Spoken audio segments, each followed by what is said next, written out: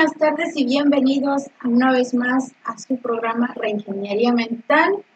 Y bueno, en el segmento de Entre Mujeres, la esencia, el valor y el empoderamiento de la mujer. El día de hoy me acompaña, como siempre, la mano derecha del equipo, ¿verdad? la infallable. La infallable, la siempre presente aquí con nosotros, que nos transmite mucha, este, muchas energías positivas, buenas vibras. bueno, voy a presentar, ella es una amiga, docente y autora del libro El Palacio de Cristal, Poesía para el Alma, y es María Auxiliadora Medina. María, buenas tardes, bienvenida. gracias. gracias por ese ánimo que me estás dando, ese entusiasmo y bueno, bendecida por Dios porque hasta la lluvia ya nos está mandando. Y bueno, y alegre también porque me encontré a mi amiga aquí, un poquito perdida, pero la rescaté de ahí de la calle y ya estamos aquí. Y sé que este tema nos va a ser de mucha importancia para las dos porque las dos sabemos un poco de esto y sé que va a ser un tema muy bonito para porque vamos a convivirlo de lo que hemos vivido y lo vamos a transmitir a las madres, a muchas personas que necesitan saber sobre el tema. Claro que sí, ellas nos van a... Yo voy a aprender mucho, mucho de ellas, siempre aprendo de todas mis invitadas, siempre aprendo del prójimo y de ustedes también aprendo en sus comentarios, en todos esos mensajes privados que nos mandan, siempre estamos aprendiendo. Eh, hay un amigo que siempre dice, hasta de lo malo se aprende. Claro que sí. sí que, pero no quiere decir que tengo algo malo aquí, al contrario, tengo algo muy bueno. Y también contamos con la presencia de una invitada especial que nos acompaña desde Nueva York. Ella es una escritora, autora, escritora y docente, quien escribió el libro Josué, el caracolito perdido. Así que vamos a presentar a nuestra querida Blanca Iris Gloria.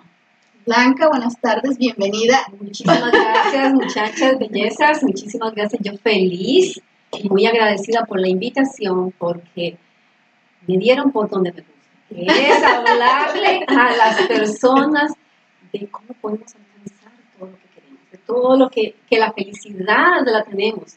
Tenemos que empezar descubriéndonos a nosotros mismos. Entonces aquí vamos a hablar de esos tópicos y me encanta porque este equipo, este equipo tiene esa, esa misión y yo creo que todos tenemos una misión y a veces no la sabemos, pero mira que Dios nos pone en el camino, nos, nos conecta y es en este momento cuando el momento justo. Dios nunca llega tarde y entonces yo digo que ese es el momento justo y vamos, vamos a, a, hacer lo mejor para a seguir aprendiendo, para mejorar nuestra vida. Así es, así que bueno, vamos a estar una vez tocando este, las cuatro personalidades, pero esta vez el tema es identifique las personalidades de sus hijos para tener una convivencia familiar mucho mejor. Así que, ¿por qué es importante eh, conocer este tipo de personalidades? Ya lo estuvimos hablando en el programa pasado entre mujeres, también tuvimos una invitada muy especial que era Fanny, Fanny Reyes, que también es autora y escritora de su libro, que ya vamos a estar presentando más adelante aquí por Staten Island en Nueva York. Y bueno, las personalidades sanguíneos, melancólicos, coléricos y flemáticos. Eso ya lo traemos desde niños, desde chiquillos, desde que estamos en, el estómago de nuestra mamá, en el vientre de la mamá, ya vamos este, adoptando estas personalidades. Porque, bueno, yo lo he escuchado y es científicamente comprobado también de que el niño empieza a recibir todas esas emociones, tanto el alimento por el, el condón umbilical, también las emociones que nuestras mamás este, están llevando a cabo durante la gestación. Así que, bueno, pues estamos aquí compartiendo. Y pues María, docente en su país, en Nicaragua, y la, maestra Blanca, Iris Gloria, aquí en los Estados Unidos, ella eh, trabaja en el Departamento Educativo de Nueva York, y ella también identifica, porque yo sé que identifica estas personalidades en todos los jovencitos que llegan a usted a comentarles, a, sacar todo eso que llevan dentro, eso guardado, porque a veces no saben cómo sacarlo con sus padres o simplemente los padres no tenemos el tiempo suficiente y siempre buscamos a terceras personas. Y pues para eso tenemos eh, a consejeros, consejeras en las escuelas. Y pues aquí tenemos a Blanca, que me gustaría que, me, que nos comparta de cómo usted se da cuenta que es un niño sanguíneo, cómo, cómo, cómo lo trata, cómo lo empieza a tratar. Eh, a veces nosotros como padres pensamos que llevarlos a la escuela, hablarles en la casa es suficiente, ayudarlos a hacer las tareas. Pero a veces no nos damos cuenta de que cada, cada jovencito, cada, cada niño tiene su personalidad. Y a veces por querer hacer lo mejor para ellos, venimos y los hacemos sentir mal porque no, por falta de conocimiento. Y no quiero decir que nosotros como padres, como madres, vamos a, fallar, ¿no? Todos, todos estamos en este mundo para aprender, pero cuando entendemos que la personalidad de, una, de, una, de, unas, de un muchacho, digámoslo, un estudiante, un niño, a veces no podemos cambiarlo. Podemos cambiarla, pero no abruptamente, como a veces queremos nosotros los padres forzar al niño a hacer cosas y que por querer, como dije anteriormente, buscar lo mejor, lo bajamos. Y ahí es cuando tenemos nosotros como padres que educarnos para ayudar a nuestros muchachos a tener una vida, una vida sana, plena, que sea, eh, que, que, porque las, las dificultades no las vamos a poder evitar, es solamente que ellos estén listos para enfrentar esas situaciones. Entonces, ¿cómo podemos nosotros educarnos? Busquemos esa información y para eso estamos aquí hoy. Claro que sí, Blanca. Bueno, pues, pues ya habíamos estado hablando eh, en el programa pasado de las personas sanguíneas, que somos el alma de la fiesta, que siempre hacemos ruidito por aquí. Queremos que nos reconozcan como líderes, siempre eh, pensamos innovar, siempre estamos innovando, estamos queriendo hacer algo diferente y sobre todo, eh, en resumen, somos el alma de la fiesta, porque mientras todos conversan, nosotros los niños dan el chiste, ¿verdad? Así que queremos atraer la, la atención. Y María, usted sabe, y, usted cómo trataba a un niño sanguíneo cuando estaba en la escuela. porque hay el niño chispas, ¿no? Que, que, es el alma de la fiesta del salón y que hace 20.000 travesuras para ser reconocido.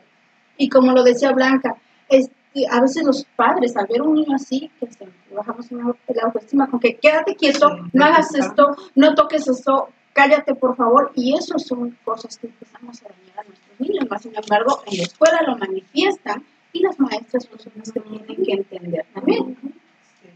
Bueno, déjame decirte, porque aquí en presencia mi compañera que sabe que es verdad que además de ser maestras somos psicólogas. Y que miramos, observamos y nos damos cuenta la personalidad de cada niño que son diferentísimos, cada quien y nos toca o me tocaba, pues, y a usted le toca lidiar con cada personalidad y lo que cuesta, lo que cuesta lidiar con cada personalidad. Y siempre están los niños sanguíneos que están ahí inquietos, que a veces uno dice, no, cálmate porque estoy dando la clase.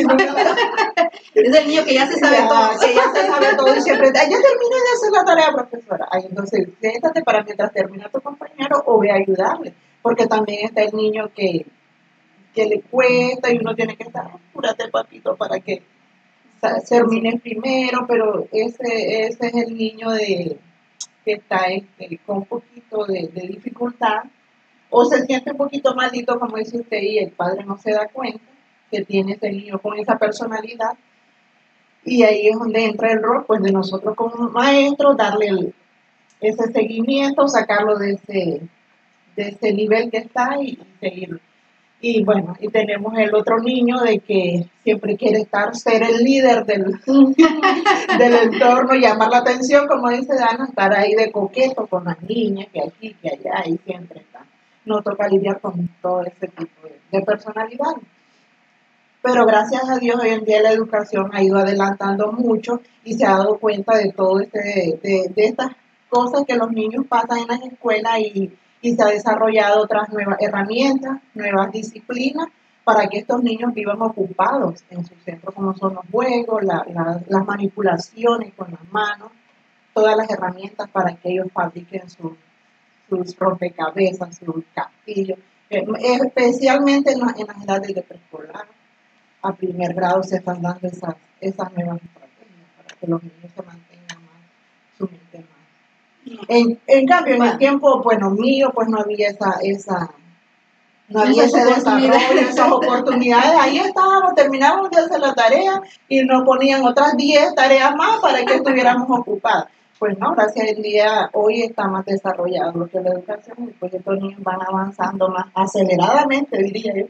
Sí, más que nada los after school ayudan bastante. Y pues en Nueva York ten- tenemos muchos after school. La cosa Sí. es de, de que padres estar al tanto de la educación de nuestros hijos, ver cuáles son los programas que las escuelas ofrecen. No todos los programas son con un costo.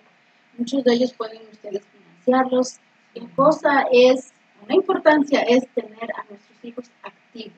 Sí. activos y- Sí, y entender, y, y como padre, como hablar como madre, entender cuál es el, el, el desarrollo del cerebro que tiene su niño. Claro. Porque hay niños que son un poquito pasivos, pues, tienen que ir lentamente su desarrollo, pero hay niños que son así, demasiado. Entonces, el niño es el que se tiene que ir dando cuenta, el padre que tiene que ocuparlo más. Porque si este niño está ahí en su cama, inquieto, sin hacer nada, este niño está. No, no, si podemos sacarle mucho provecho a nuestros hijos, a nuestros muchachos, podemos sacarle, sacar el potencial para que ellos se sientan bien. Bien. Y por eso nosotros como padres, como adultos, como educadores, tenemos que analizar esas ah, características, porque muchas veces eh, cuando no tienen nada que hacer, lo que se frustran y empiezan a hacer travesuras. Por ejemplo, el niño sanguíneo es desorganizado. Entonces, a, a veces nosotros como padres, entonces lo que hacemos es castigarlos, quitarles el teléfono, pero lo que no entendemos es que es una característica de. Entonces, exactamente. Entonces, ¿cómo podemos que este niño no se puede concentrar, no puede estudiar? Tal vez es buen estudiante, pero no tiene los mejores resultados en la escuela porque no se puede concentrar. ¿Y qué he visto con los padres? Se desesperan, los castigan y sabe que a veces, a veces por la falta de educación de los padres o falta de conocimiento, diría yo, que los hacemos es castigarlos castigarlos. Y mira que esto es que lo, lo ridiculizan. Y eso es lo que no debemos de hacer. debemos. Por eso es muy importante que nosotros podamos enfocarnos en esto. ¿Cuál es la característica de nuestro hijo? Otra cosa muy importante que, no, eh, bueno, que se observa en los niños, en los más niños, digamos en los que están en adolescencia, en edad, hay niños que les encanta hacer sus tareas escuchando música, porque esa es su personalidad de él, así se siente bien escuchando música. Se concentra mejor. se concentran mejor. Yo soy una, a mí me encanta, si no estoy oyendo música, yo no estoy tranquila. Así me gusta.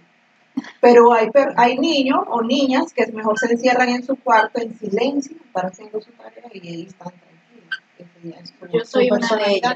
Yo soy una niña de ellas. A mí me gusta pleno silencio cuando tengo que hacer algo. Cuando Sí. tengo que, este, que hacer una tarea, un proyecto, yo necesito pleno silencio. Porque de lo contrario me distraigo y no hago nada. No, a mí me pasa igual. Yo, por ejemplo, si estoy haciendo un proyecto, escribiendo un libro, lo que sea, yo tengo silencio. Sí. No, la música me distrae. Pero tengo un niño a quien yo le doy clases dos veces por semana en mi casa. Y el niño es un poquito, tiene un poquito de, de dificultad para aprender, pero sin embargo lo noto que cuando él pone su música, él se concentra y hace su trabajo. Y lo hace más rápido. Sí. Entonces, funciona. Es sanguíneo. sanguíneo. Así que bueno, vamos a Es pasar sanguíneo. al melancólico. Bueno, un niño melancólico es un niño más serio, muy organizado, son muy responsables, cuidan ah, hasta el más mínimo detalle, porque hay niños así. Y bueno, y este, generalmente tienen lista de cosas para hacer. Tienen su agenda en pocas palabras. Mañana me levanto, voy a caminar al perro, vengo, me baño, desayuno y me voy a jugar soccer. En el caso de mis hijos, uno de ellos es así. Y en la escuela, pues también tenemos a los niños así. En la casa tenemos a los niños así. Muchos padres se sienten afortunados al tener un niño melancólico porque es bien ordenado.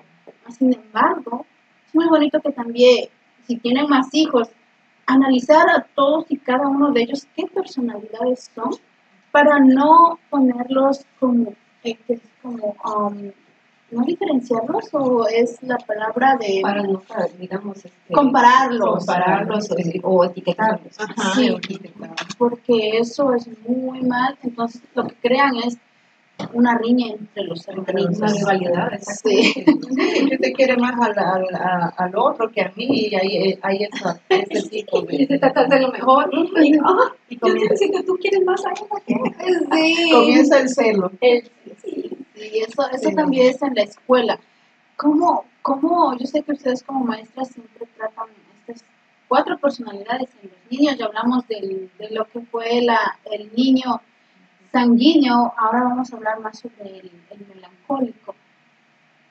Un melancólico es un, digamos, es un problemita para los niños sanguíneos en la escuela o es o cómo cómo cómo definen eso cómo cuál es el trato para cada niño Bueno, yo diría que no es un problema, es solamente, digamos, eh, decirle a los niños. Por ejemplo, el niño melancólico se caracteriza de que puede hacer tareas, lo opuesto al otro. Es una mente brillante, pero fácilmente pierde, este, digamos, eh, la, la, la, la motivación, porque él tiene un complejo de inferioridad. Ya si el niño eh, viene uno y le dice, eh, no me gusta como me hizo eso, no me gusta, no, ya es suficiente razón para que el niño ya se sienta mal, para que el niño se sienta aislado. Entonces ya ahí lo, lo, lo opaca, digámoslo así. Ya él no va a querer hacer lo que, lo que le, le gusta, a pesar de que a él le gusta hacer tareas, hacer las cosas bien.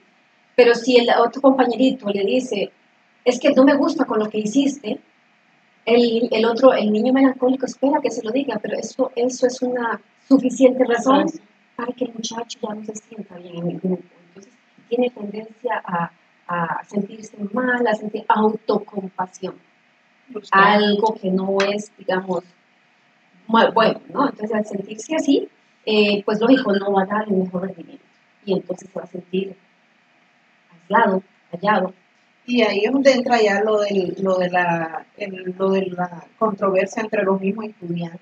Y siempre se forman las pelotitas. de- Ah, los, los- mejores. que- y a veces, como maestro, también cometemos esos errores de, de- de poner, bueno, antes se daba mucho eso, de poner adelante que los mejores estudiantes van adelante y los peores estudiantes van atrás. En, en tiempos Sí. atrás eso se daba mucho en el tiempo de que estudiaba mi mamá, era, era una de las mejores estudiantes siempre la mandaban para adelante y que a los, y a los peores estudiantes pues lo mandaban para atrás y eso creaba un nivel de, de, de inferioridad y de, de pleito entre los mismos alumnos, Compañeros. compañeros de trabajo. Claro, porque bueno, una vez este, los melancólicos, pues como tienen la tendencia de Sí. ser más organizados, captan más rápido por la Sí, organización por que tienen. Entonces, pues, pues yo quiero a este aquí al frente y el otro como siempre anda distraído, vamos a ponerlo atrás porque si lo ponen al frente, distrae a todo el grupo. Bueno, en, mi, en mi escuela no es así, en mi escuela hacemos un balance. En mi escuela hacemos un balance no solamente de idiomas, sino también poner al niño que, que puede ayudar a los otros. Algo, sí. Entonces, que puede levantar a los otros. Entonces, Claro. entre ellos se ayudan. Entonces, se ha dado cuenta Sí, que eh, da mejor rendimiento. bueno, Cuando el mucha- hay un niño que es muy inteligente y el otro tal vez ya no lo es. Entonces, como para que el niño trabaje en grupo y se sienta que lo, lo, lo lleva, que lo levanta como líder. Sí. Sí, como le digo, Trabaja hoy en han- equipo. han- han- se han desarrollado nuevas estrategias para eso. Y eso se da en los círculos, que siempre tiene que estar el niño más inteligente, es el monitor del círculo de, de, de estudio de los niños. Y aunque un niño sea muy inteligente, pero cuando se siente mal, ya no da, ya no Sí. da. Yo recuerdo que cuando yo estaba en la escuela, yo creo que yo era una niña melancólica. Y mi- me- siempre estuve en las clases más altas. Pero cuando yo veía que tenía una compañera que siempre la ponían de abanderada, que iba bien vestida, ya yo no podía, yo iba vestida así como ella, bien Sí. peinadita, yo ya no iba tan peinadita como ella, yo me. Yo trataba de ser invisible, porque ya yo no quería compararme con ella, porque yo veía que yo no podía competir con ella. Y por eso ahí está la- lo, lo que es bueno, saber tener esos conocimientos para levantar al niño. Nosotros Sí. como padres, decir, ¿qué estrategia voy a hacer para que este niño suba? Nosotros Sí. como, como educadores deberíamos también estar, Así es. estar preparados. A mí me encanta prepararme en esas áreas porque me pongo en el papel de, de los muchachos, a estar uno eh, sintiéndose que lo está apoyando, que lo está escuchando. Parece mentira, pero hace milagros. Sí, e incluso el niño más problemático, Cuando usted le habla con esa, el amor, la comprensión, de hacerlo sentir valorado, es increíble cómo hace, cómo cambia uno. Claro, prácticamente las cosas con amor pues todas las cambian. Y muchos de los niños actúan de una forma u otra por la falta de amor en el hogar. Sí.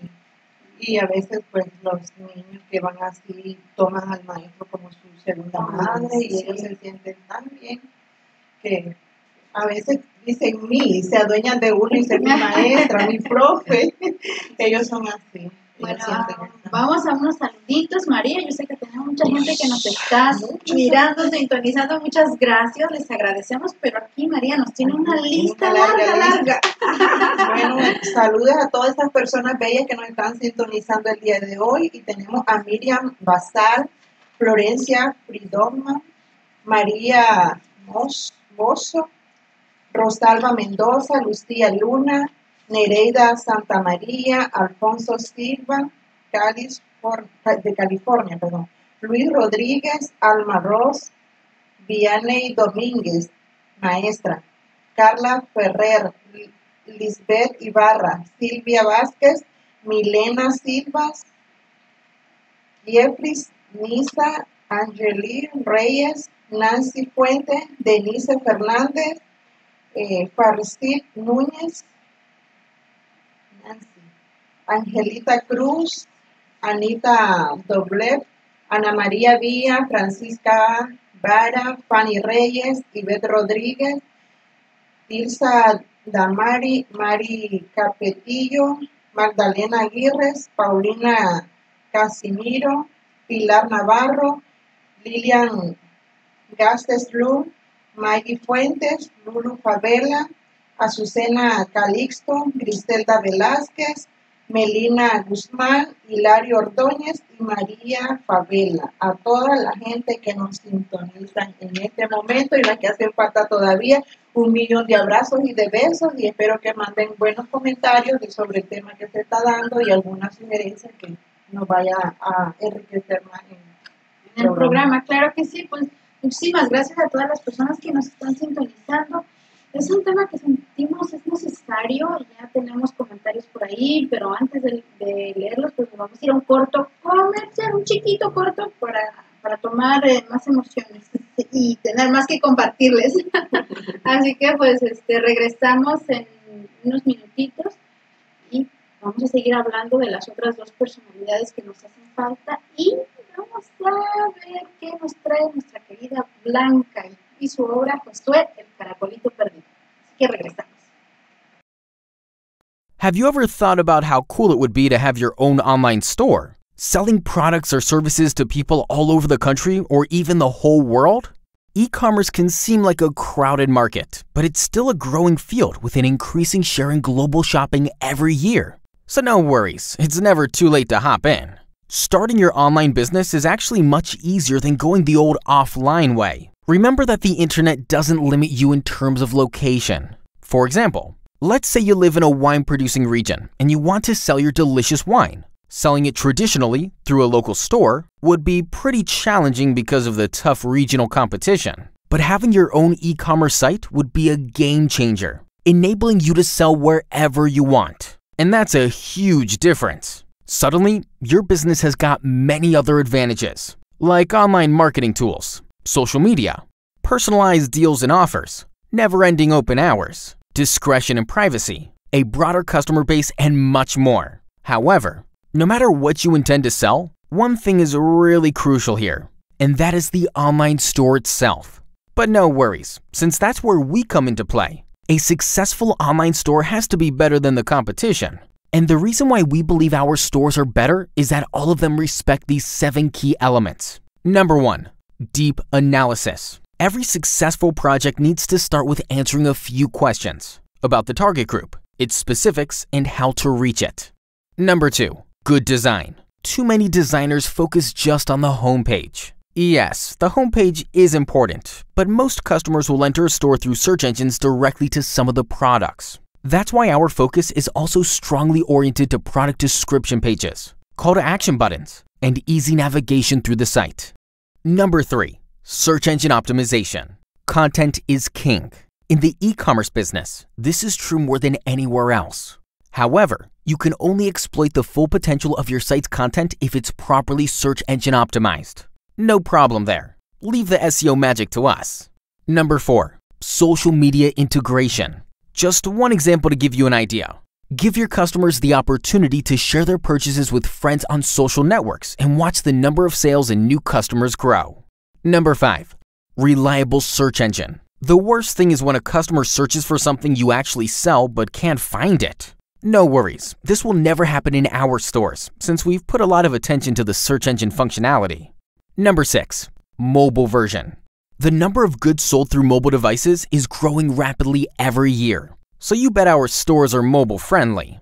Number 7. Security. It is one of our highest priorities to treat sensitive personal data the right way. Secure storage of such information is essential for your store's trustworthiness. That's why all our e-commerce sites use state-of-the-art security technologies. Online business doesn't have to be difficult if you put it in the hands of professionals. And obviously by that, I mean our hands. So take the first step to creating your new online store and get in touch with us today.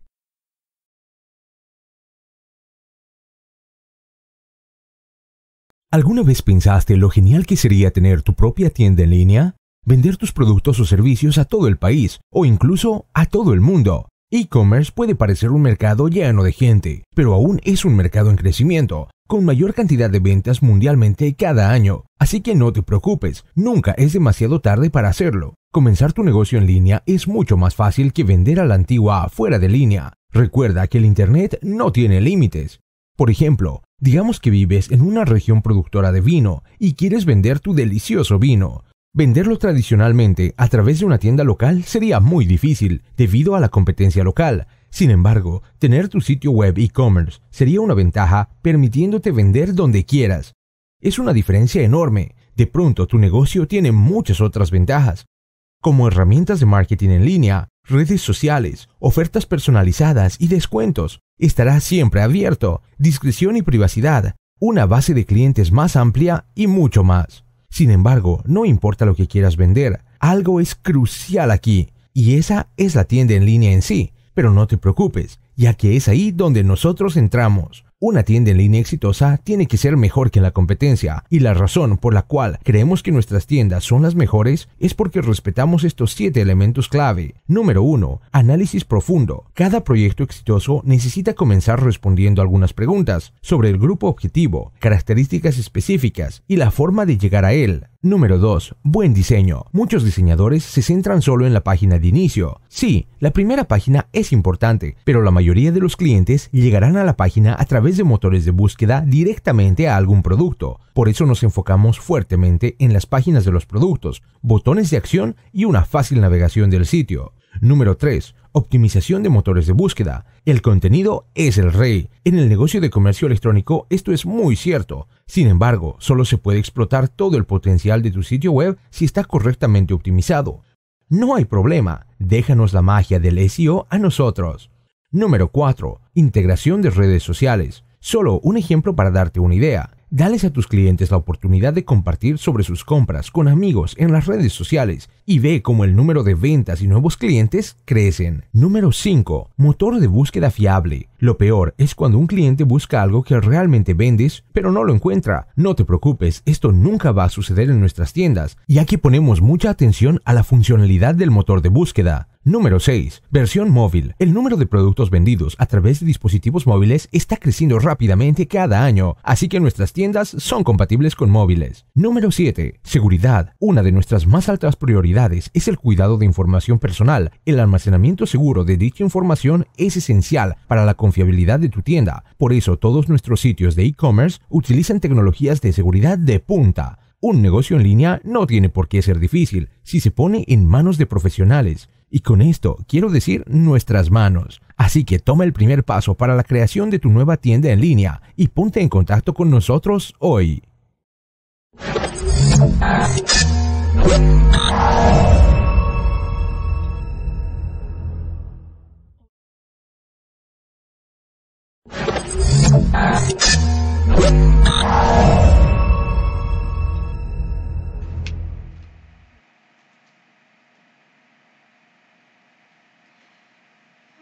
Buenas tardes a todos una vez más. Ya regresamos de nuestro pequeño corto aquí con el equipo charlando de que pues son temas muy importantes. Ya estamos recibiendo algunos saludos escritos.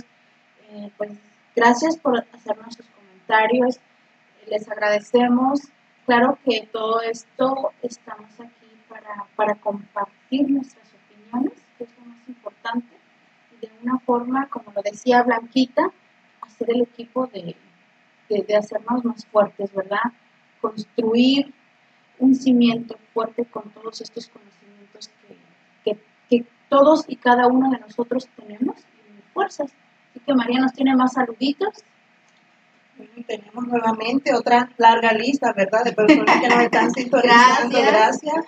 Eh, y tenemos a Lourdes Chávez, Sandra Veloz, Padre Octavio. Saludos, Padre Octavio doctora María Los Ángeles Ibarra, doctora Saludos, Silvia Rubio, Virginia Mireles, Luz Marina Avilés, Mónica Flores, Catalina Suárez, Lupe Aguirre, Mayra Ríos, Gen Dram Medrano y Dioselín Navarrete. Gracias por estar sintonizándonos en este hermoso programa y Dios les bendiga.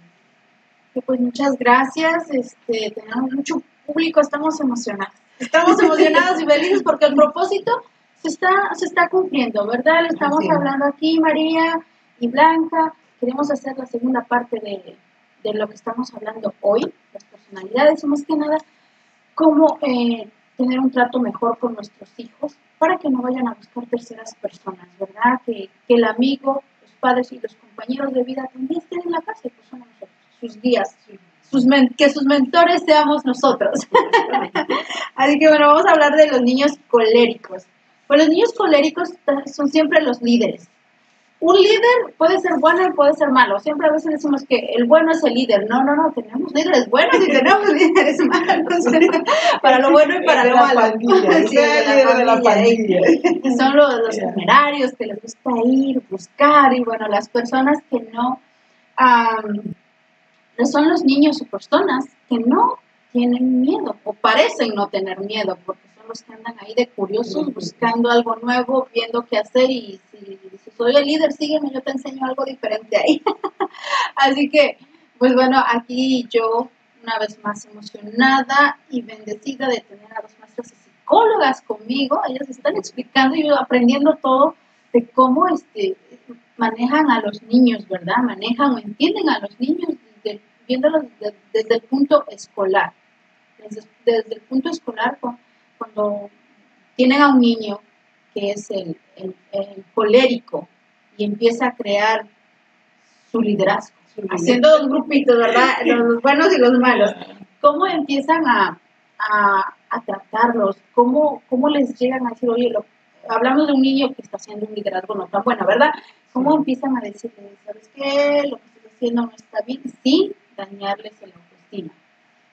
Bueno, bienvenidos nuevamente y encantada de estar con todos ustedes y gracias a todas las personas que nos están escribiendo, Carlita, mi corazón, Fanny, todas estas personas que estaban ahí, Magdalena, bueno, bueno, ahí están hasta, hasta bueno, ahí les, Azucena, querida, bueno, no voy a leer todo, toda la, la lista porque nos vamos en el tiempo, pero sí, este, lo que me estaba preguntando, cómo lidiar con, eso, con esos niños. A veces tenemos que ponernos a la altura de ellos. Porque hacer, ser niños o subirlos a ellos a nuestra altura. Porque cuando vemos la diferencia, ahí es que ellos se van, como dijo Dan, el peligro de que ellos busquen otras salidas. Buscando la familia que a veces no encuentran en la casa, la van a buscar en caminos equivocados. Como son muchachos que no están, porque cada uno, si ustedes se dan cuenta, como decía mi abuela, cada ladrón juzga, no juzga, sino cada oveja se con su pareja, que cada oveja con su pareja. Trabajando en la escuela me doy cuenta que un niño que tiene, digamos, un problema de, drogas, busca a otro que está en las drogas. Un niño que está en, pandillas, va a otro que se une a las pandillas. Entonces, de eso se trata, de que nosotros podamos identificar y cómo ayudarlos, cómo hablarles, como me dijo Dana, ¿qué hacer con un niño que pues, hay que darle? Yo, por ejemplo, lo que yo hago y me ha dado muy buen resultado es, le digo a ellos, miren, está en cada uno de ustedes o cada uno de nosotros escoger el camino. No lo puedo decir, este es tu camino o este es el que tienes que coger, no, porque muchas veces si uno le dice, este es el que tienes que coger, entonces se cogen el opuesto porque van en la contraria. Y yo le dije, no, ahora, tú eres tan inteligente, primero recordarle la inteligencia Sí, que claro. tiene, o sea, el valor. Decirle, tú eres tan inteligente que yo sé que sabrás escoger el camino que tiene y correcto para ti. Ahora, yo les pongo, todo tiene consecuencia, lo bueno y lo malo. Ahora, si yo me voy por el lado, digamos, izquierdo, donde los amigos me van a ayudar, me van a sentir mejor, me van a llevar al camino de, de alcohol, de drogas, o el camino donde yo voy a prescindir de todo eso. ¿Cuáles son? Le pongo las tres metas. ¿Cuáles son? La persona que se mete en un vicio, por ejemplo. ¿Cuáles son las alternativas? Si les pongo a escoger, escoge cualquiera. La cárcel, el hospital o el cementerio. Escoge una de las tres. Escógeme una de las tres. ¿Cuál es la mejor para, para ti? No, mis, no, no, ninguna. Pues entonces es tu decisión. Tú puedes hacer la decisión. Escoge cuál quieres. Si escoges hacer una cosa, dejar hacer a eso a un lado, porque las drogas y las cosas negativas van a estar acechando. Pero está en la fortaleza de ese niño, en la madurez de ese niño de decir, no, yo no quiero esto, yo me voy por el otro camino. Donde la vida es mucho más fácil, me ofrece más tranquilidad, más felicidad, más momentos felices. Entonces yo les pongo a escoger. Yo no les puedo decidir por ellos. Incluso como madre, yo no puedo decirle, mira, tienes que hacer esto lo otro, porque no lo van a hacer. Pues entonces yo los pongo a ellos a visualizar. Mire, ponga, cuáles son las consecuencias, cuáles son las, los resultados. Todo va a ser consecuencias buenas o malas. Si usted actúa bien, lo bueno viene bien. Si va a ser malo, lo malo viene bien. Entonces, ustedes deciden, ¿sabe qué? Me ha dado muy buen resultado. Incluso hasta los niños, como les dije, más problemáticos, no, no, no, yo quiero hacer esto, yo no quiero que mi hermanito siga mis ejemplos. Yo no quiero que mi hermanito me caiga, que, que vuelva, que esté sufriendo lo que yo estoy sufriendo. Entonces, y ahí está el, el que nosotros empecemos a hacer ese, ese, ese cambio, ese cambio en ellos, porque a veces los padres no saben, por más que quieren, no saben. Y a veces este, porque no tienen el tiempo, no tienen la, la educación, no tienen... Entonces los niños, como usted dijo, ellos van a buscar su hogar en otro lugar. Alguien que los apoye, que los entienda, que los escuche. Esa es la parte primo- pri- primordial, perdón. Eh, como padres, escuchar a nuestros hijos. Muchos de nosotros oímos, pero no escuchamos. Que son dos cosas muy diferentes. Porque a veces estamos las mamás cocinando, ah, sí, sí, ¿qué me dijiste? Ah, sí, Mm. claro, y después, Y, y ¿sabe cuál es lo más, no diría el duro, lamentable para, para, para los maestros? Este, es, no es tanto de decir dar las materias, la ciencia, sino eh, eh, atender a esos niños que vienen con ese problema de su hogar. Que, que escucha cada lamento, cada lamentación de este niño. ¿Qué te pasa? ¿Qué tenés? Esto y esto está pasando en mi casa con, en mi, con mi padre, mi mamá. Entonces cada niño lleva cada historia y el maestro tiene que, que recolectar Escuchar. todo eso y, y alentar a este niño que va, que va con esa frustración, con ese problema. No, y no solo eso, como dice Ana, saber escuchar. Porque cuando dejamos que el niño se exprese y ponemos nosotros en los zapatos de esa De esa criatura, criatura. que para ellos el problema más grande es el de ellos. Sí. A veces como adultos dices, ah, eso no es nada. Pero no, hay que ponerse en, el, en, el- en las, en los zapatos de ese muchacho y entenderlo. Decirle, no le voy a resolver tu problema, pero estoy contigo. Dale un, un Una abrazo, una palabra, decir, yo estoy contigo, te entiendo. fortalecerlo Sí, emocionalmente. Estoy contigo, dime que cuando necesites hablar, yo estoy aquí contigo. Y sabe qué, no traicionarlo, decirle, ok, lo que dijo, decirlo y criticarlo. Sí, no, no, no. Darle a entender que usted está ahí para el apoyo emocional. Un apoyo porque lo que necesitan es eso, Eso, sí. el apoyo emocional y decirle, bueno, no criticarlo, no decirle, ¿ves lo que te dije? No. Nosotros como este, docentes recordamos cuando fuimos esa misma edad, que para nosotros el problema más grande era nuestro. No lo era, pero para ellos lo son. Entonces, ¿qué hay? Escúchelo atentamente, sin interrupciones, escúchelo. Póngase Vamos a pensar que es usted la que está. ¿Cómo le gustaría a usted que cuando tiene que, que, que tiene alguna situación difícil, cómo le gustaría que lo escucharan? ¿Cómo le gustaría que lo trataran? De igual forma, tratarlo con la importancia que tiene que ser. Pero ahí, ahí, bueno, no voy a, no voy a hacer crítica ni tampoco destructiva porque, pero hay padres o habemos padres que no entendemos eso y lo que hacemos es poner al maestro en mal o hablar mal del maestro, este no enseña, este que estar allá, más ni sabe que somos el apoyo de sus hijos emocionalmente cuando llegan con este problema de, de sus casas. Y- Sí. Pero hay padres que no entienden esa situación, solo creen que es la obligación del maestro tener a su, a su niño en el aula de clase, enseñarle las letras, ciencias y, y ya, ahí estuvo. Pero hacemos un segundo papel.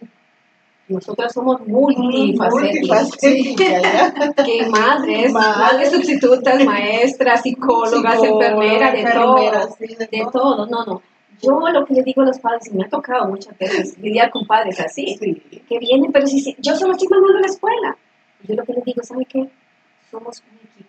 Sí. Si queremos ver muchachos triunfadores es padres, estudiantes y maestros, trabajar todos en equipo. Sí.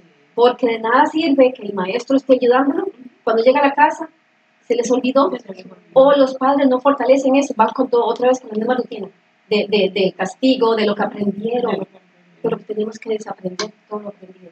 Como hemos estudiado algunas de mis compañeras que están, y ellas saben cuáles son, ¿sí? este, es desaprender todo esto, estos hábitos que hemos aprendido desde nuestra infancia. Y ellos lo traen. Entonces, por eso digo yo que la importancia también de que nosotros como padres para trabajar en equipo, por favor. Que muchas veces no hay dinero, pero ahora, en estos días, no hay, digamos, excusa. Tenemos la interne- el Internet, donde hay audios gratis, hay conferencistas que dan cosas gratis, libros de autoayuda, la lectura es importante. Hablen, asóciense con otras personas que hayan tenido eh, situaciones similares y que estén triunfando, que hayan salido de eso. Por favor, edúquense y haremos de, este- de nuestra sociedad un mundo mejor. Especialmente de nuestros hijos. Me tocó la lectura, así que les invitamos, María, Wow, vamos a qué tener tema, un qué círculo de lectura en septiembre. En septiembre vamos a Wow. tener un círculo de lectura en Nueva York por el Alto Manhattan. Les vamos a empezar a dar este el, el próximo ah, en el próximo programa que tengamos entre Sí. mujeres vamos a traer a la fundadora de este círculo de lectura y que nos va a compartir toda la información, cómo pueden participar, temas que se van a tocar, diferentes temas desde arte, cultura y social, psicológico, como lo que estamos teniendo aquí. Son muchos Sí. temas. Lo más relevante de la literatura se va a tocar. Lo Sí, más poema también, la- poema lo también. que es la lectura, que es algo muy muy Importante. importante. Bueno, escuchar es muy bueno, pero leer es súper mejor. Definitivamente.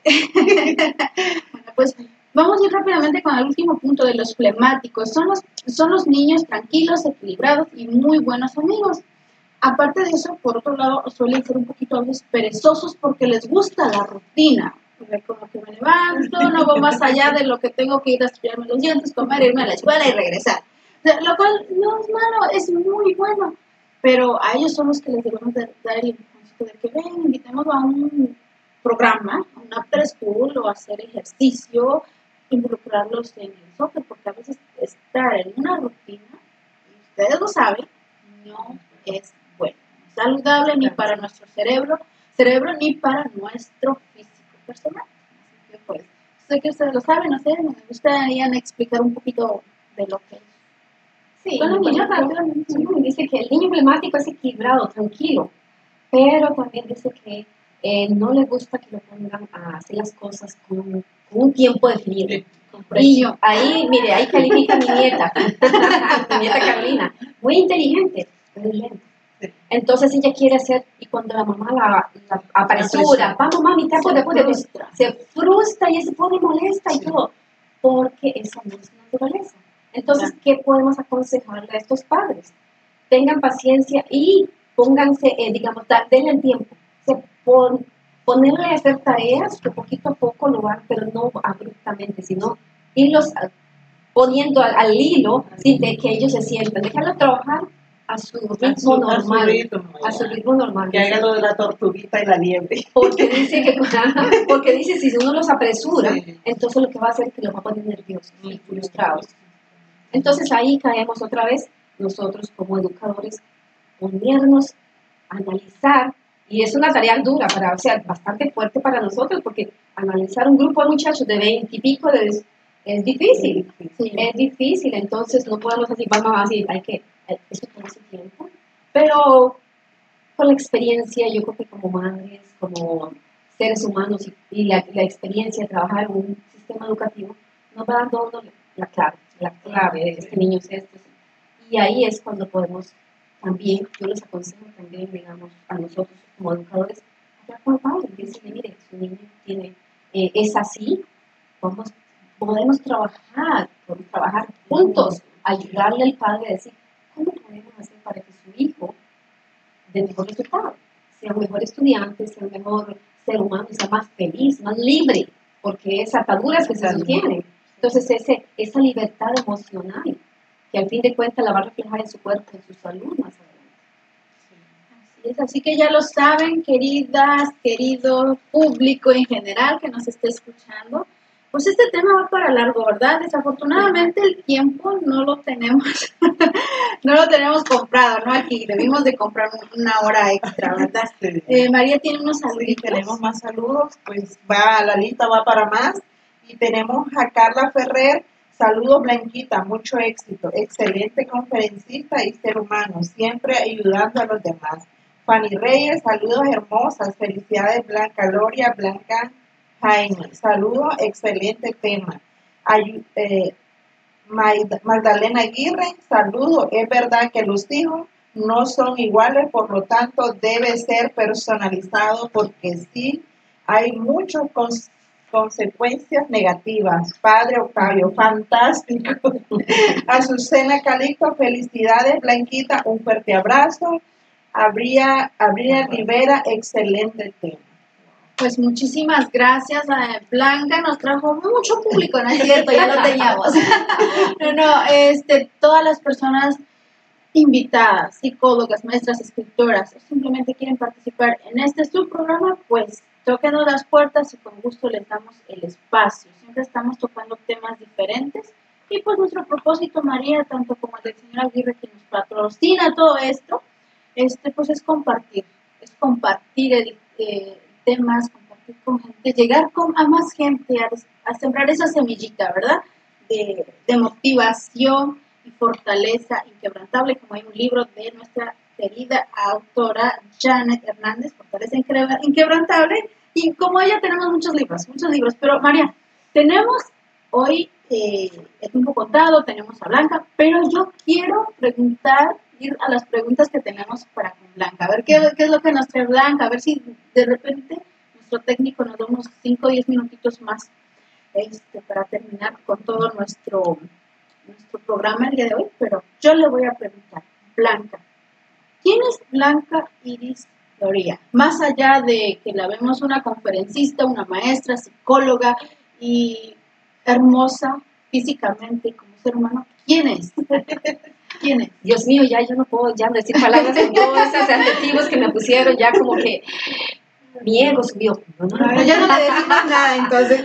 No, mire, este, yo primero me describo como alegría, como amor, entusiasmo, todo eso soy yo, soy paz. Pero sobre, sobre eso también digo que soy una mujer sencilla, una mujer costarricense que ha pasado diferentes dificultades, pero bendito sea Dios, porque eso me ha hecho madurar, me ha hecho encontrar eh, diferentes ah, oportunidades, como conocer este equipo maravilloso, conocer a otras personas como las que han estado este, contactándonos acá eh, por medio de las redes sociales. Y me, me, me, me siento bendecida, me digo, me siento bendecida porque soy una, una persona totalmente distinta a la que hace unos años era. Una persona que ha aprendido a, a amarse, a encontrar la belleza en todo, la belleza hasta en lo más difícil, como digo Dana, encontrar lo bueno de lo malo y ser feliz, sinceramente porque la, razón o la misión de cada ser humano es ser feliz. Entonces, encuentro la felicidad en todo. Sinceramente, yo les digo, me siento feliz con lo que tengo. Si estoy bien, si estoy sola, si estoy acompañada, estoy sola. Si tengo eh, personas de que, que se están a un lado mío, a la izquierda, a la derecha, estoy feliz. Así que tengo que ver de la lluvia, la nieve, del día soleado, todo ello, porque tengo tantas oportunidades o tantas razones para dar gracias. Y una de esas es estar en este programa. Muchas gracias, Dana, por la invitación. Muchas gracias a la, al equipo del señor Aguirre. Y que Dios me lo bendiga, porque si no, yo sigo hablando, me encanta hablar. Este, sigo hablando y que Dios me los bendiga. María tiene una pregunta. Es que hoy le vamos a, le vamos a preguntar muchas cosas hasta donde el tiempo nos permita, créame. Yo tenía una pregunta antes, pero voy a seguir con la, con la para no, No, salirme siga del- su, su pregunta, María. Usted, usted no, no se cohiba. Pregúntele. Antes yo, yo le iba a preguntar, ¿cuál, ¿cuál es su personalidad? ¿Sanguínea, melancólica, colérica, flame- flama- flemática? Yo creo que soy un poquito de cada una. soy un poquito de cada una porque tengo un poquito lo que es flemática porque ahora soy feliz, soy, digamos, eh, tranquila, pero me gusta innovar, me gusta estar, eh, digamos, buscando la alegría en todo. Eh, lo que es el, de- la, la que tenemos ahora, la otra es, es sanguínea, ¿no? Divertida, soy ahora divertida, soy eh, colérica, pues entonces veo lo colérico nada más en lo que es el, que me gusta hacer las cosas, me gusta que me ayuden, pero me gusta hacer las cosas a mí misma, para, es un reto, un reto para probarme a mí misma que soy capaz, que soy capaz y lo he hecho, gracias a Dios. O sea que de todas tengo un poquito, pero saco lo bueno de cada una, saco lo bueno de cada una, ¿para qué? Para yo poder llevarle a cada una, como dijo Dana, esa semillita nos hace, que pueda germinar, que pueda crecer, y cómo podemos nosotros, poquito a poquito, ser ser el, el, el conductor o la, o el- la guía o la luz, o qué sé yo, la energía. Yo soy todo. Ok, ¿Cuál es su propósito en la vida? Mi propósito en la vida es ser feliz. Mi propósito en la vida es ser feliz con todo lo que tengo. Pase lo que pase. No importa cuál adversidad esté en la afuera, porque la, la felicidad la. Yo creo que eh, ese es el propósito de vida y ¿saben qué? Me gusta mucho la escritura, espero seguir escribiendo, poder llegar a tocar corazones. Tocar esos corazones chiquitos y los más chiquitos y los no más, chiqui- los más grandes. Ahora que habla de escritura, ¿cuántos libros ha escrito y cuáles son? Bendito Dios, he escrito dos libros, yo estoy escribiendo el tercero. Eh, los libros, si me permites mostrarlo, el primero que escribí, aunque no fue el primero, fue el que, el que empecé. este es este del temor al poder. Los invito a que lo consigan porque van a conocer un poquito de mí y también cómo de una situación difícil podemos salir adelante. Podemos salir adelante. Es querer, querer hacerlo y, y cómo reconocer. Ahí tenemos al famosísimo. Este otro, bendito sea Dios, que ha sido como el señor Aguirre, que lo publiqué. Este ha sido el primero prácticamente, pero el segundo. El primero en que, en que sembró la semillita Este y fue el segundo en germinar. Sí, este lo escribí, empecé a hacerlo mucho antes, no lo había terminado cuando hice el otro. Pero este es, este me da mucho sentimiento porque es especialmente dedicado a los adolescentes. A esos adolescentes que se ven que, en que no pueden hacer o no están haciendo sus decisiones. Esas decisiones de que, ¿qué hago? Si voy por este camino, si voy por el otro. Les, les enseño, digamos, no les enseño porque ellos tienen que aprender, pero les doy la guía de las, las responsabilidades y, digamos, las decisiones que tomaron, que todo tiene consecuencia, pero va muy dedicado a un niño muy especial, este está en mi corazón. Es el, él se llama Josué, Josué Loría, y es un niño que nació con cierta discapacidad, pero sabe que dentro de mi corazón él es- ocupa un lugar muy importante. Y él pasaba en la vida real, pero le puse Josué por el niño, aunque no es, no es la historia del niño. Esta es una historia real de, bueno, consíguelo y se da cuenta. Sí, esa, esa es la razón. Bueno, ya que nos platicó un poquito de sus libros, ¿verdad? díganos en dónde la pueden contactar, en dónde pueden adquirir estas obras y pues denos toda su, información o délo a nuestro público, porque de verdad que no he leído el primer libro de ella, pero el primero, el segundo, pero Josué, Josué sí es un libro muy bonito, muy hermoso, con mucho aprendizaje. Es un libro magnífico. Aparte de todos los que hemos publicado aquí en la editorial Alejandro C. Aguirre, todos tienen un mensaje, todos son hermosos, todos tienen una esencia diferente, pero Josué a mí me encantó. Como muchos, así que este Blanca, por favor le pido que nos diga cómo, cómo le diga a nuestro público cómo contactarla. Cómo Bueno, y, este libro ya pronto sale la versión en inglés, está en español, Uh. pero para los niños que están, que dominan mejor el idioma inglés. Am, mi en redes sociales, ahí me pueden conseguir como Blanca Loría, me pueden conseguir bien en lo que es Facebook, está Instagram también, me pueden conseguir ahí. Y el libro lo pueden conseguir en Amazon. ¿Y es la otra? Este, Um, alejandrocaguirre.com también lo pueden conseguir en la editorial Alejandro C. Aguirre. Um, Amazon y Instagram. No, hay otro, otro, bueno, ahí, lo consiguen, eh, cuando una vez que entran a Instagram, a Amazon se van a dar cuenta de que también ahí está otra, Ah, otra sí. compañía, otra compañía que. Ah, ok, bueno, ya. Pero se los invito, se los agradezco enormemente y sabe que de corazón corazón les, invito a que los, los compren porque este, van a encontrar algo, algo que los identifique, algo que vaya a llamar la atención de ustedes para hacer un cambio, para hacer un cambio positivo en sus vidas. Definitivamente, bueno. Así que ya Blanca nos compartió algo de ella. Adquieran sus obras, vean quién es Blanca a través de sus letras. Y pues bueno, nosotros este, vamos a seguir aquí en otro programa. Por ahora no quisiéramos terminar, María, pero tenemos que terminar. El tiempo está contado y debemos de respetarlo. Sin embargo, vamos a pasar a nuestros este, anuncios. Y bueno, tenemos seminario de cómo escribir un libro y psico-coaching para el sábado 19 de octubre del 2019 aquí en Nueva York, Nueva Jersey. Para todas esas personas que quieran contar su historia, que quieran dar un mensaje, que quieran hacer un libro de comida, de adornos, de fotografía, pues bueno, acérquense a la editorial Alejandro C. Aguirre y les va a dar las pautas a seguir para cómo publicar un libro, cómo llevar sus sueños a, la realidad. También tenemos cursos de autorrealización y desarrollo espiritual que se estarán eh, dictando en la primera sesión. Eh, Creando Amor, sábado 5 de octubre. Segunda sesión, eh, seminario Sanación Interior, domingo 6 de octubre. Y esto se llevará a cabo en las oficinas de Latinoamérica. Para que la mejor inversión que pueden hacer como seres humanos, la mejor inversión para nosotros no es la ropa, no es una bolsa cara, es nuestra ayuda, nuestra autosanación, sanar ese niño interno para poder seguir compartiendo y llevar esa luz con más personas. Que nos vamos de gira. María, no sé si quiere compartir algo con nosotros, si quiere venir con nosotros a la gira, la tenemos en la lista, pero si no viene, pues a la próxima.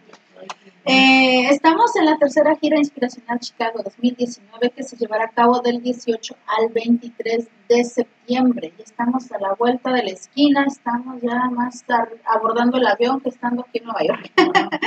y vamos a compartir e impartir los seminarios, cómo escribir un libro, psico-coaching, cómo, ah, cómo hablar en público y persuadir a la gente.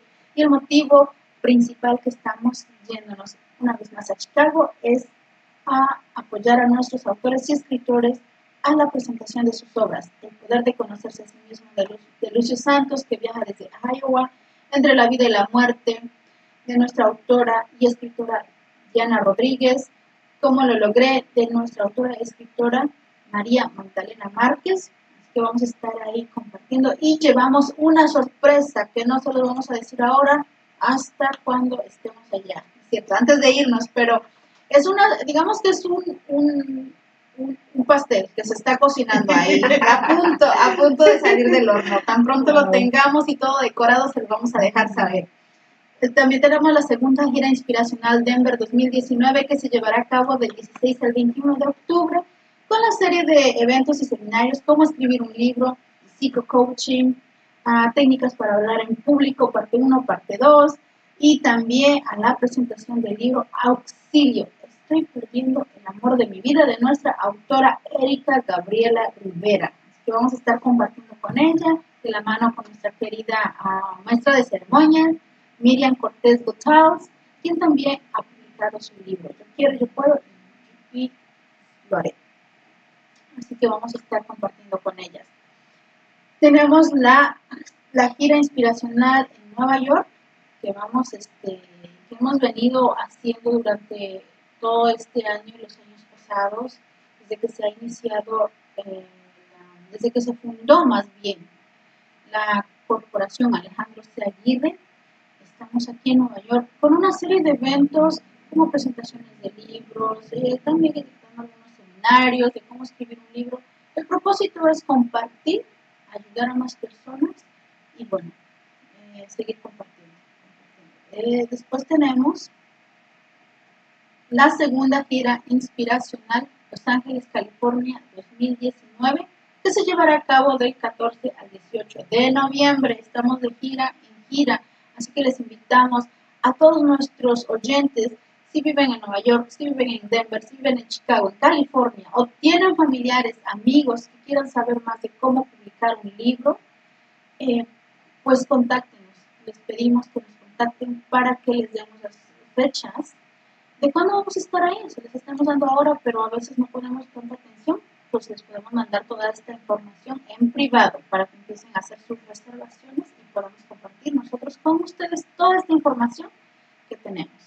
Así que, bueno, en California del 14 al 18 de noviembre tenemos técnicas, um, tenemos cómo escribir un libro y psico-coaching, tenemos, vamos a traer el taller Empodera tu vida y la presentación de los libros de nuestros autores y escritores, que es Transformación, la autora de Daisy Hennis, Evolución Emocional del autor Armando Bernal. Bueno, vamos a estar compartiendo con ellos vamos a regresar como tercera gira inspiracional a California en el 2020, que se llevará a cabo del 5 al 9 de marzo, con una serie de eventos no uh, concretos aún, pero vamos a estar trabajando en ello. Tan pronto los tengamos y los vamos a dejar saber. Así que bueno, pues eh, una vez más, gracias a todos ustedes.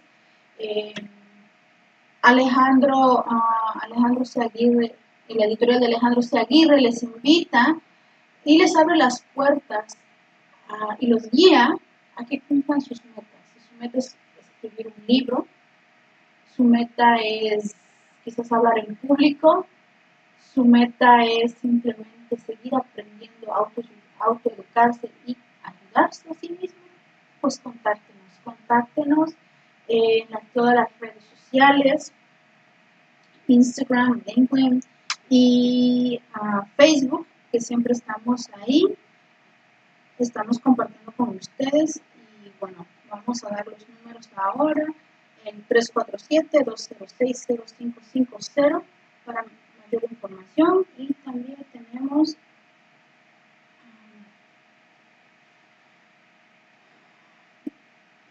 vamos al otro número que tenemos por aquí, que es el el 917-8700233.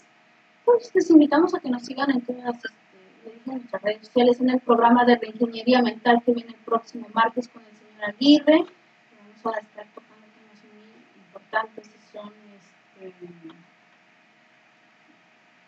tema que tenemos para el próximo martes es eh, bullying eh, bullying parte 2. Estamos tan emocionados con las emociones. Oh, vamos a seguir tocando el bullying. Ya lo tocamos la semana pasada y es un tema muy importante, de suma importancia que también tenemos que considerar. les invitamos a que nos, este, nos, sigan sintonizando. Siempre tenemos algo que compartir con ustedes y bueno, pues María tiene algunas palabras que decir a nuestro público pues bueno, que nos acompañen nuevamente dentro de 15 días, Dentro de 15 próximo días. programa entre mujeres que también va a estar muy bueno, muy importante. El tema lo más relevante de la literatura que es leer, ¿verdad? Leer, este, escudriñar lo que es la, la lectura, los libros, los libros muy buenos que están eh, innovando ahorita este, este nuevo año 2019 de la, de la nueva editorial, ¿verdad? De Alejandro C. Aguirre.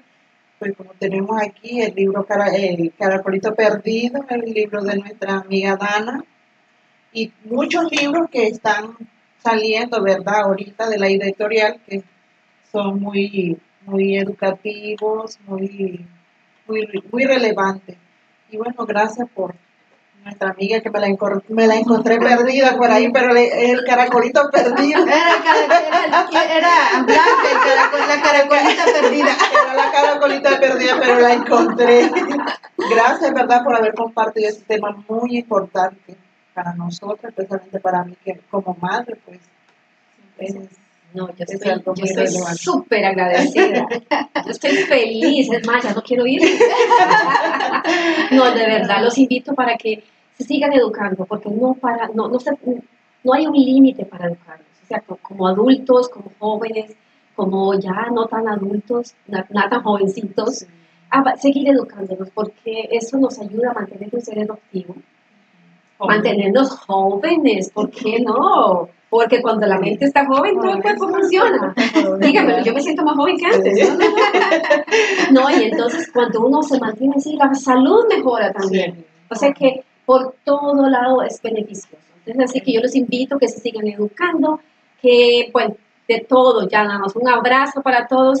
Síganos, por favor, y que Dios me los bendiga ricamente, que tengan un maravilloso día y hagan siempre el bien sin mirar aquí. En mente sana, cuerpo sano. el doctor Amén. Del doctor Amén, ya, ya me sé la, la frase de María. Bueno, pues muchísimas gracias una vez más por sintonizarnos. Los esperamos el próximo martes y los martes que vienen en el programa Reingeniería Mental entre Mujeres. Vamos a estar aquí. Bendiciones a todos. Gracias, eh, señora Blanca. Gracias, María, por siempre estar aquí compartiendo con nosotros. Y pues bueno, hoy fue un día de mucho aprendizaje. Yo aprendí bastante y siempre estoy afortunada de estar con grandes personas que siempre aprendo de Bendiciones y nos vemos hasta la próxima sintonización. Saludos, señor Aguirre, hasta México. Y el señor Aguirre aquí en, en New Jersey.